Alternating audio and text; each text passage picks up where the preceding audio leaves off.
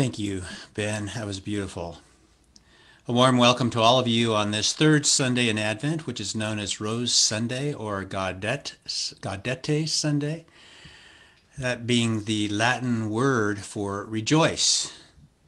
This Sunday symbolized the, by the rose colored candle and vestments is meant to be an invitation to rejoice in what was traditionally an, a penitential season.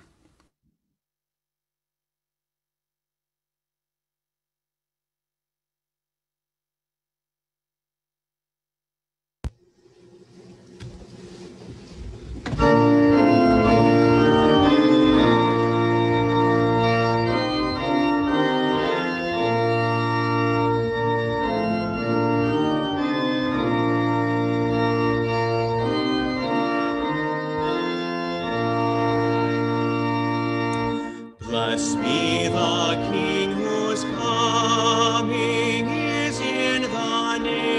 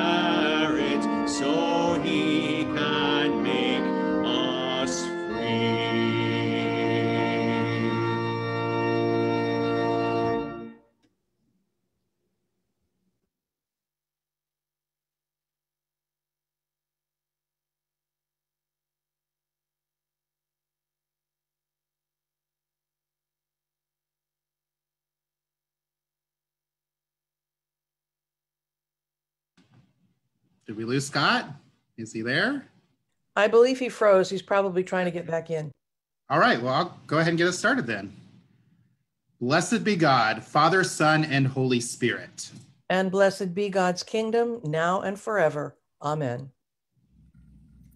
All right. So it is the third Sunday of Advent. So how many candles are we going to light? One, two, three. That's right. So each, tonight we light the first, second, and third candles of the Advent wreath. Each candle has a meaning. The first candle is hope. hope. The second candle is Ta, peace. peace, And the third candle is joy. joy.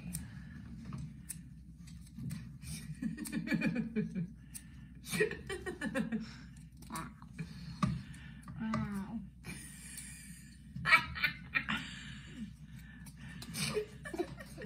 I know the match.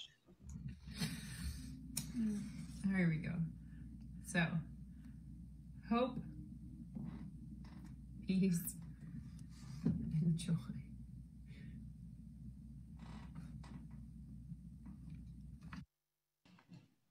Almighty God, to you all hearts are open, all desires known, and from you no secrets are hid. Cleanse the thoughts of our hearts by the inspiration of your Holy Spirit, that we may perfectly love you and worthily magnify your holy name. Through Christ our Lord. Amen. Holy God, holy and mighty, holy immortal one, have mercy upon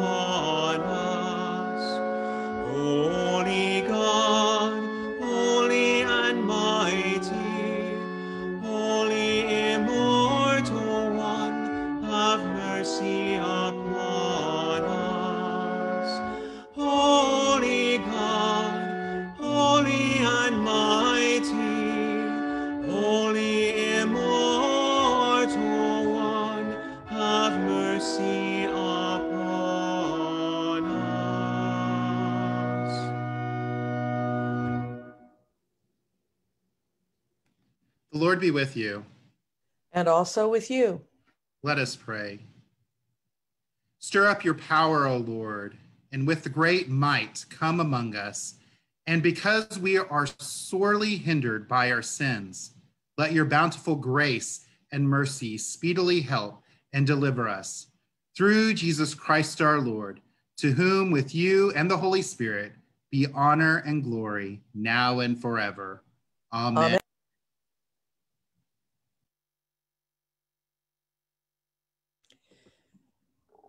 A reading from the prophet Isaiah. The Spirit of the Lord God is upon me, because the Lord has anointed me. He has sent me to bring good news to the oppressed, to bind up the brokenhearted, to proclaim liberty to the captives and release to the prisoners, to proclaim the year of the Lord's favor and the day of vengeance of our God, to comfort all who mourn to provide for those who mourn in Zion, to give them a garland instead of ashes, the oil of gladness instead of mourning, the mantle of praise instead of a faint spirit. They will be called oaks of righteousness, the planting of the Lord to display his glory. They shall build up the ancient ruins, they shall raise up the former devastations, they shall repair the ruined cities for the devastations of many generations. For I, the Lord, love justice. I hate robbery and wrongdoing.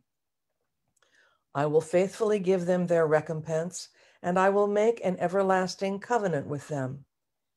Their descendants shall be known among the nations, and their offspring among the peoples. All who see them shall acknowledge that they are a people whom the Lord has blessed. I will greatly rejoice in the Lord. My whole being shall exult in my God. For he has clothed me with, right, with the garments of salvation. He has covered me with the robe of righteousness. As a bridegroom decks himself with a garland, and as a bride adorns herself with her jewels. For as the earth brings forth its shoots, and as a garden causes what is sown in it to spring up, so the Lord God will cause righteousness and praise to spring up before all the nations. Hear what the Spirit is saying to God's people. Thanks be to God.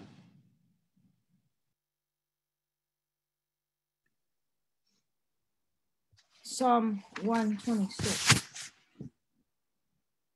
When the Lord restored the fortunes of Zion, then were we like those who dream. Then was our mouth filled with laughter and our tongue with shouts of joy. Then they said among the nations, The Lord has done great things for them. The Lord has done great things for us, and we are glad indeed. Restore our fortunes, O Lord, like the watercourses of the Negev. Those who sowed with tears will reap with songs of joy. Those who go out with weeping, carrying the seed, will come again with joy, shouldering their sheaves. A reading from Paul's first letter to the Thessalonians. Rejoice always, pray without ceasing, give thanks in all circumstances for this is the will of God in Christ Jesus for you. Do not quench the spirit. Do not despise the words of prophets, but test everything. Hold fast to what is good. Abstain from every form of evil. May the God of peace himself sanctify you entirely, and may your spirit and soul and body be kept sound and blameless at the coming of our Lord Jesus Christ. The one who calls you is faithful, and he will do this. Hear what the Spirit is saying to God's people. Thanks be to God. Ooh,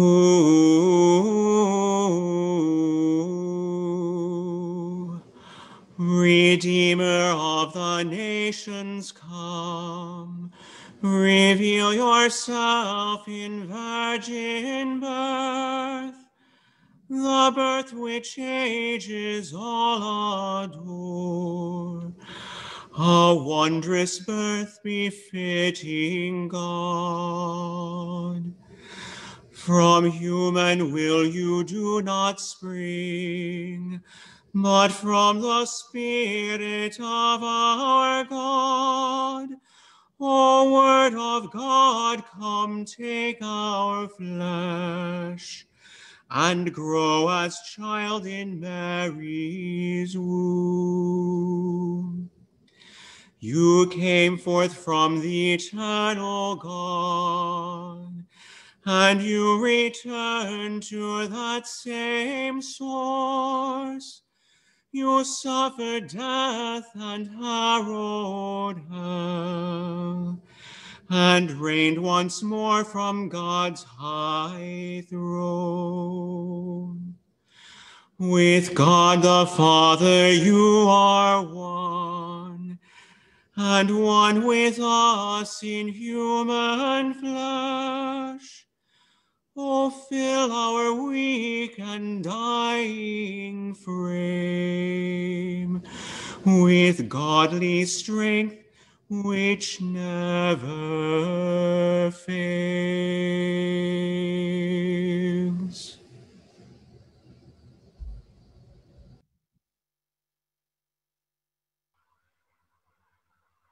The Holy Gospel of our Lord Jesus Christ according to Mark. Glory to you, Lord Christ. There was a man sent from God whose name was John. He came as a witness to testify to the light so that all might believe through him. He himself was not the light, but he came to testify to the light. This is the testimony given by John when the Jews sent priests and Levites from Jerusalem to ask him, Who are you? He confessed and did not deny it, but confessed, I am not the Messiah. And they asked him, What then? Are you Elijah? He said, I am not. Are you a prophet? He answered, No. Then they said to him, Who are you? Let us have an answer for those who sent us. What do you say about yourself? He said, I am the voice of one crying out in the wilderness. Make straight to the way of the Lord. As the prophet Isaiah said, Now they have been sent from the Pharisees. They asked him, Why then are you baptizing if you are neither the Messiah, nor Elijah, nor the prophet? John answered them, I baptize with water. Among you stands one whom you do not know, the one who is coming after me. I am not worthy to untie the thong of his sandal. This took place in Bethany across the Jordan where John was baptizing. The Gospel of the Lord. Praise to you, Lord Christ.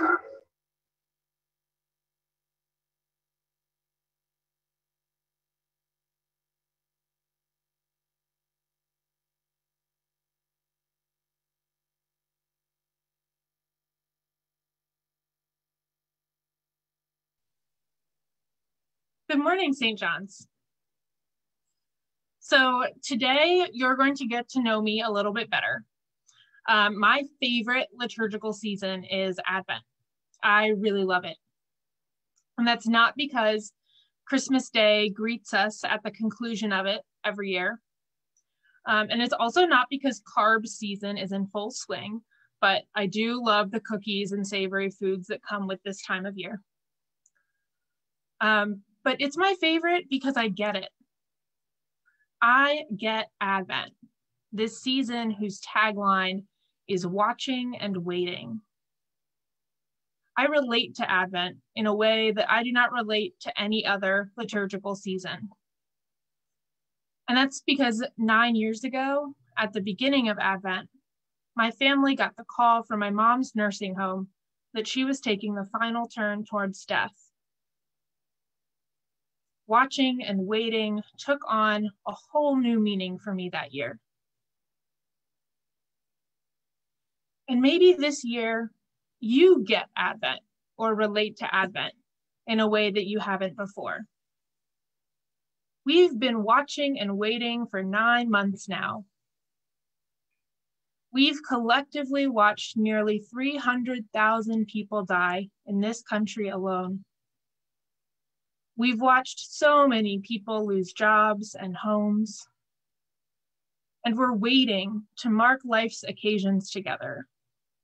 The weddings, funerals, baptisms, birthdays, anniversaries, graduations, all kinds of events. We have not gathered the way we would like to. We are waiting until it is safe. We are waiting until our turn for a vaccine. In John's gospel today, we've got an account of John the Baptist telling a story about watching and waiting. The priests and Levites and Pharisees all have a lot of questions for John the Baptist because they're trying to figure out what's going on. Things can be confusing when you're in periods of waiting. Does that sound familiar? Does that feel familiar? Amidst and alongside our confusion as we are watching and waiting, there is good news. Today on the Advent wreath, um, we saw a family light their Advent uh, wreath. Oh, sorry. Um, we, we lit a special rose pink colored candle. This week's candle is special because it's supposed to represent the special kind of joy that can be had in the midst of waiting. So that's what I really want to get into today is the joy that is found in the midst of waiting. How do we have it? Where is it? Oftentimes in situations where we are watching and waiting, it's hard to be joyful. Despair can feel so much closer and easier and more accessible than finding joy when I think about the times where I have been watching and waiting and where I found the joy in those times, the joy was being in community with other people. That's where it came from. Nine years ago, when I was watching and waiting during my mom's last two weeks, waiting for her to die, joy was found for me um, in a dear friend of mine who traveled with me to see her many times. Though she had never met my mom before her illness, um, she sat with me in, in my mom's room and crocheted with me all day long. And just, we just conversed with my mom as if it was normal, as if she had known her for as long as she'd known me. Of course, there were times in those two weeks where I cried into her shoulder and there were joys that we shared only because of the circumstances we were in. I remember especially one morning as she arrived uh, to my house before we were going to make the two hour drive to my mom's nursing home.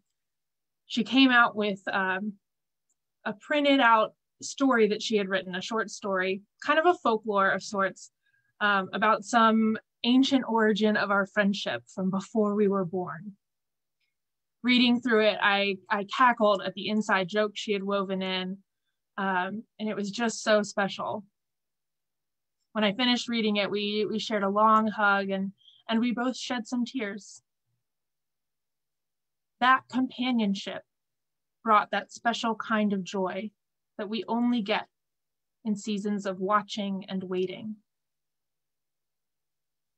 Were it not for the circumstances we were in, she would not have written that letter, that story. You would not have had that moment. That joy would not have been experienced.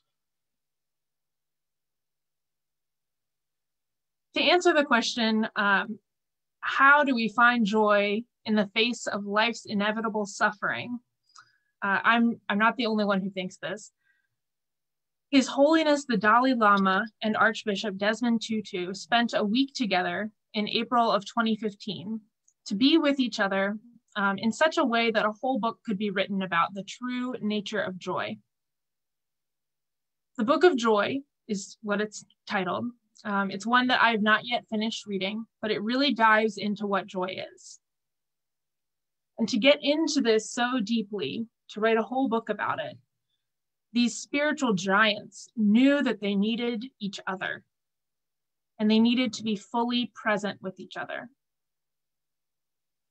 In the book, the Archbishop positions joy as a state of mind that is much bigger than happiness, he says. While happiness is often seen as being dependent on external circumstances, Archbishop Tutu says, joy is not. Let that sink in. Joy is not dependent on external circumstances. If we were to rely on our external circumstances to provide joy in this pandemic, as I waited for my mom to die, we would not have found it. The joy I felt with my friend was very intentionally created. It was not inherently present in the suffering. As is the joy that we might be creating and noticing around us now in this pandemic. I invite you to look for the joy that you and others have created. Take the time to notice the ways that people are showing up for one another and bringing joy that we might not otherwise have had.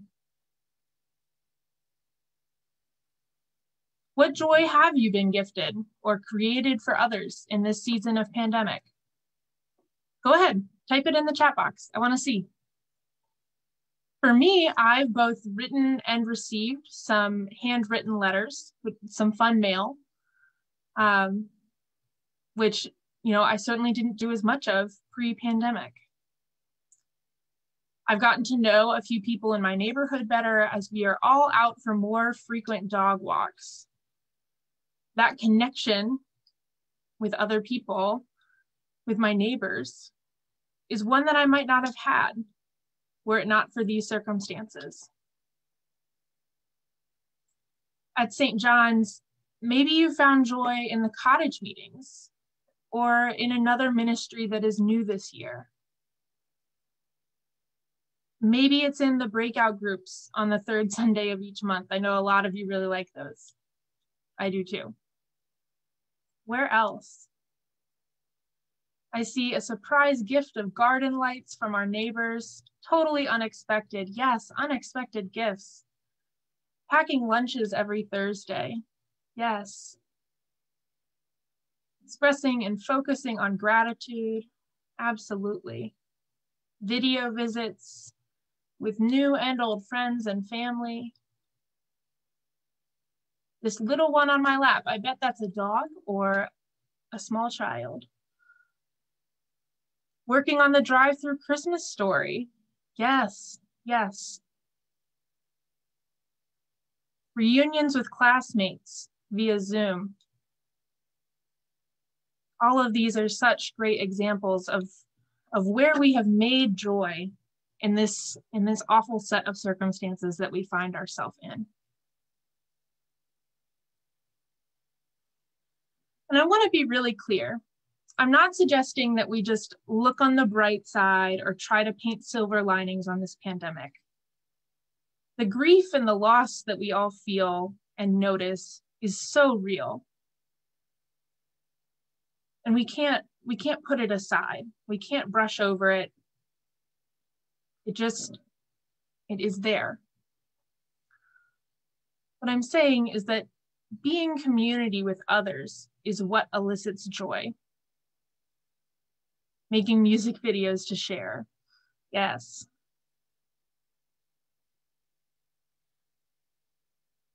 These things that we do to create moments of light and life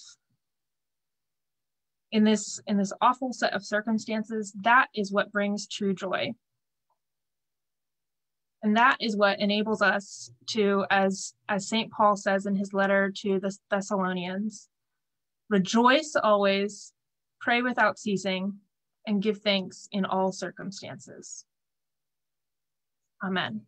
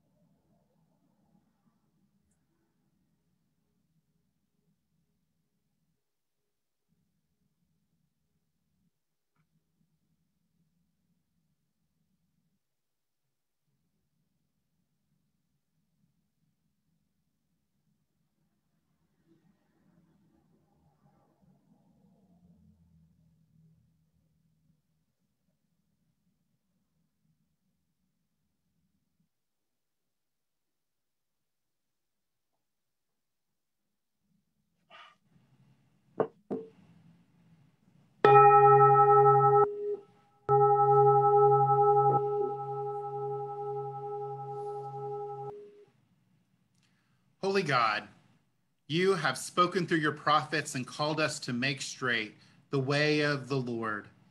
Visit us with your grace to cause righteous and praise to spring up before all nations as we pray. God has done great things for us, and we are glad indeed. O God of peace, you have called your people to rejoice always and to pray without ceasing, giving thanks in all circumstances. Sanctify your church and her members, that our spirit and soul and body may be kept sound and blameless at the coming of our Lord Jesus Christ. God has done great things for us. And we are glad indeed. Almighty God, you love justice and hate wrongdoing. Guide our leaders and all in authority, that they may bring good news to the oppressed, bind up the brokenhearted, proclaim liberty to the captives, repair the ruined cities, and cause righteousness and praise to spring up before all the nations. God has done great things for us. And we are glad indeed.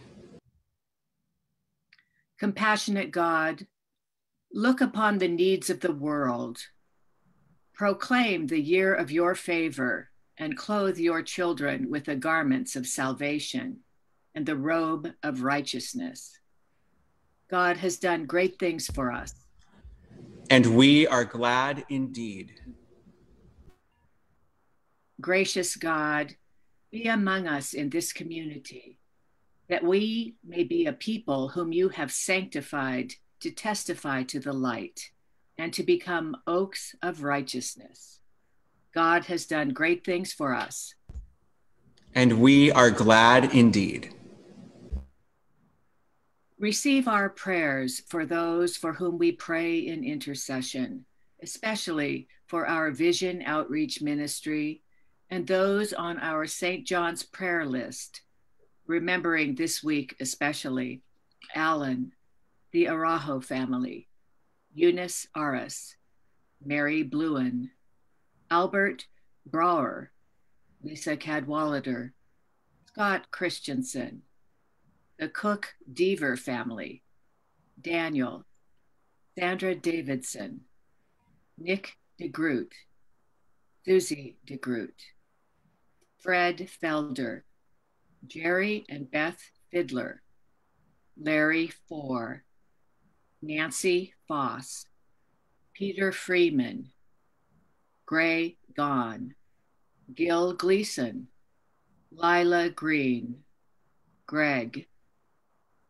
Leslie and Esteban, Judy Hart, Allison Hogan, Jessica, Joan Kimber.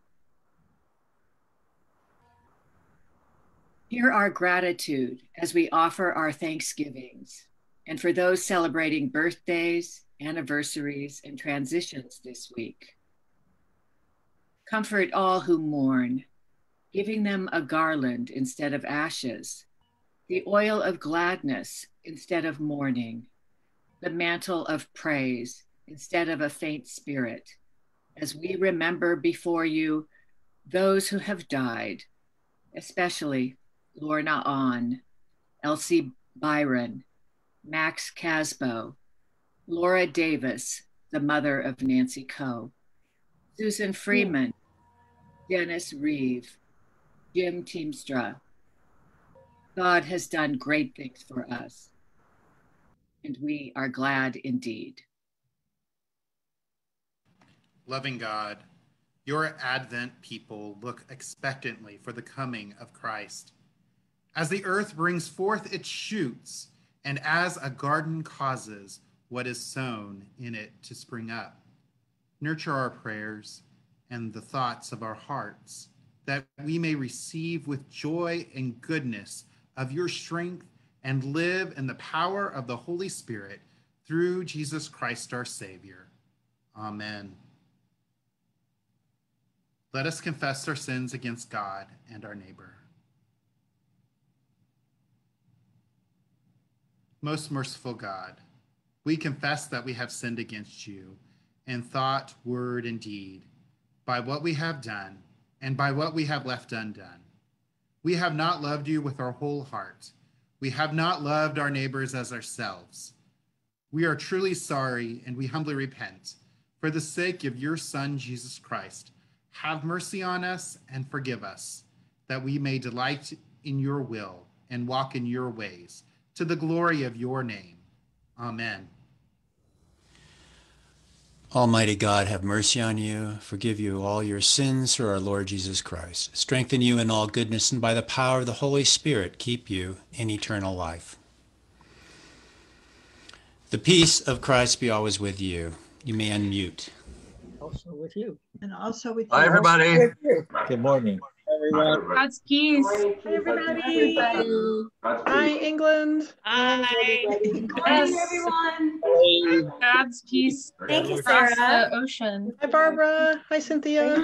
Thank, Thank thank you, you, Sarah. Thank You're welcome. Yeah, move, going, Kathy. Hello, Dorinda. Hello there, you guys. It's good to see you. Hey, Lori. Hi, Peter. Life is good. Jim and Molly. Hi, Lila. Hi, Ben. On with going on. Kathy. Linda. Uh, Judy Marr. Hi. Kathy. Fran. Sarah. Hey, Franny. Betty. Good morning. There's Susan Pierpoint and Pat and Sylvia. Yeah, Hannah, Carol. we're done. Oh, Fun. Me, you're welcome to sit if you want. You can see Peter Redding at the very, oh, I don't know where Peter.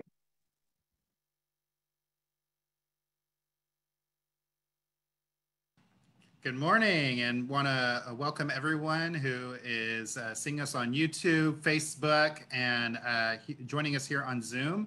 Uh, we have a few good announcements, uh, and so with the first two, I'm going to turn it over to Sarah. Hello, yes. Um, so our Advent meditation continues uh, this Wednesday, December 16th at 6 p.m.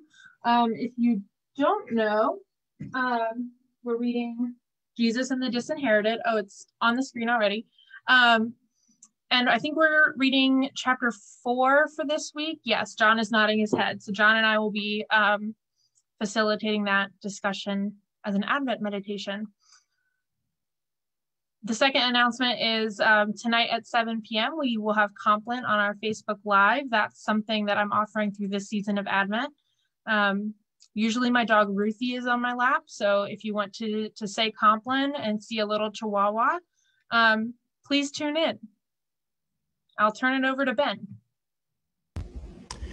Hi, everybody. It's so good to see you uh, on Zoom this morning. Um, the monthly monthly hymn sing for the chancel choir is this Thursday, and uh, we're marking um, the liturgical calendar uh, by singing, hopefully, everyone's favorite um, Advent and Christmas carols. It's a little early for Christmas, but as Auntie Mame said, we need it now. So we'll try a few Christmas carols as well. Uh, so please email me uh, if you haven't been to one of our hymn sings before. It's uh, we all have a chance to um, call on each person who suggested their favorite, and they get a chance to give us some of their memories of the, in this case, carol, and and then we sing it together. So hopefully you can join us. It's uh, on Zoom this Thursday at seven. I'm uh, glad to be back with you. Um, I suddenly found myself in with the Presbyterians, and so I, I don't know what happened. Uh, no, not seriously, but uh, anyway, uh, such is the internet. Um, again, I I am so excited about uh, the Christmas drive-through and. Uh, which begins December 18th. That we're putting the final touches on it this coming week. Uh, and we hope that you all receive those wonderful cards so uh, uh, you could send out to friends and neighbors uh, and remind them of this opportunity to safely have something to do that will uh, literally give them the experience of driving through the story of the Nativity. So um, we do need a few more volunteers if you're so inspired. Uh, uh, we have uh, people who have signed up on many of the days, uh, uh, but we're lacking some volunteers on a couple of those days. So uh, please consider signing up on the link. Uh, next Sunday, we had planned to do communion um, and, and have communion together, but we, it will be a breakout Sunday where we will uh, instead, uh, uh, at the end of the service, have an opportunity to discuss uh, the service, uh, the sermons, uh, whatever, in small group setting. Um, out of an abundance of caution, given the current surge, we felt that the less face to face connection was very, very important at this time. So, welcome again to the season of Advent, which is the season of waiting. Uh, we will wait and we will uh, celebrate in the new year uh, at the appropriate time. All right. Are there birthdays, anniversaries, transitions uh, we can honor today? Please unmute thyself and let us know, know who you are. Hi, Scott. I'm celebrating a birthday last Friday. Sandra, happy birthday. Thank you. So Scott, this a birthday week on Thursday. celebrate the 66th anniversary of my ordination to the priesthood. Ed, 66 years as an ordained priest. God bless you. Congratulations. We're grateful that you're a part of our community. So my daughter's birthday today, and the other one is on the 18th. Thank you, Doug. On the more mundane side, I have moved and I am surrounded by boxes and I need your prayers. Uh, moving, never an easy thing, especially during a pandemic. Scott, Lila's got a birthday. Lila, your birthday. Happy birthday to you. Thank you. And I have a birthday today. Wow. Stephen, happy birthday to you. And I Thank did I see Anne say something? Uh, Trying. It, my birthday was Thursday. Uh, happy birthday, Anne. All right. Let us pray. O God, our times are in your hand. Look with favor, we pray, on your servants as they begin another year. Grant that they may grow in wisdom and grace and strengthen their trust in your goodness all the days of their lives. Through Jesus Christ our Lord. Amen.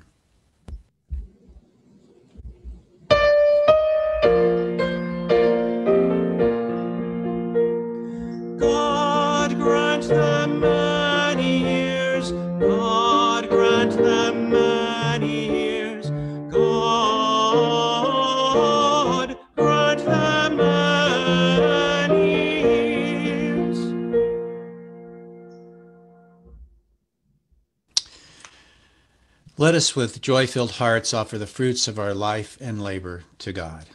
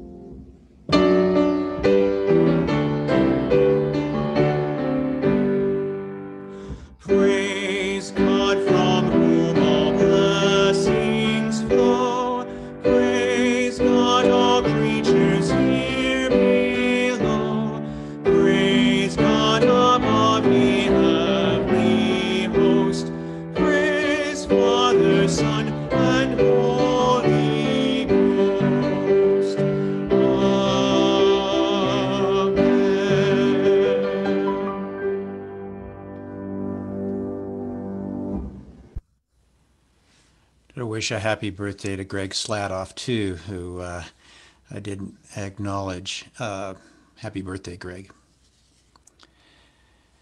And now, as our Savior Christ has taught us, we are bold to pray. Our Father, who art in heaven, hallowed be thy name. Thy kingdom come, thy will be done on earth as it is in heaven. Give us this day our daily bread, and forgive us our trespasses, as we forgive those who trespass against us. And lead us not into temptation, but deliver us from evil. For thine is the kingdom, and the power, and the glory, forever and ever. Amen.